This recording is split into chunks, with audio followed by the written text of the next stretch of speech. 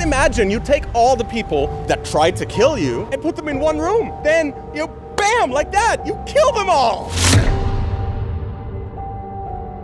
Well, the case was uh, it was baffling. Uh, ballistics found that it was not over quickly, and nobody called the cops. Now, to me, that scenario looked like the work of Rockstar.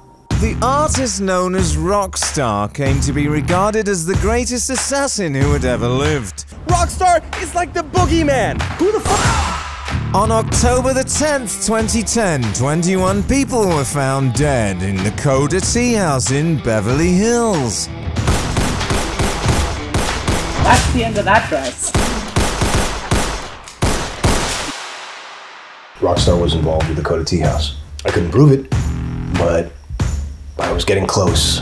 Here, I'm going to tell you why Rockstar needed to die. He killed my buddy. Rockstar's not, Not dead, not Nope. dead. the Coda Tea House Massacre proves Massacre. it. You got Proves it beyond a shadow of a doubt. Lucian Mercy, Fucking Red Red, Red, Red Frosty. Frosty. They all bragged about taking out Yeah, they all Rockstar, bragged and they got it. what was coming to Exactly. Hey, you ever heard the story about this frog and scorpion? Huh? Sorry. My secret wish is that someone will, just comes along and smites the rest of them. Motherfuckers. Get down, boys. Let me see you shit.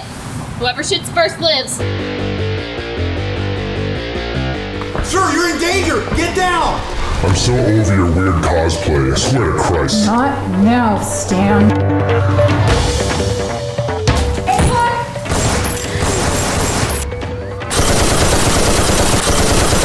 Oh shit, for real? The cops are real?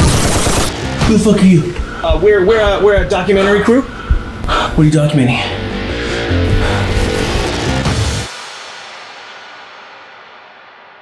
Excuse me, where is your handicap placard? How about you learn to get your fucking ass off my car and I park wherever the fuck I want?